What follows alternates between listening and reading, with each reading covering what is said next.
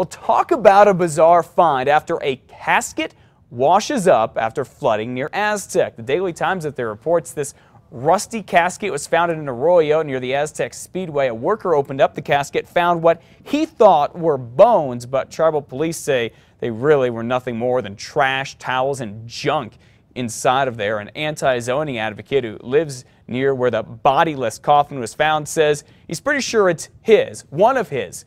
He says one of his three caskets washed away during recent monsoon storm. The advocate says he collects old cars, but purchased the casket at an auction back in the 1980s. Glad he got it back.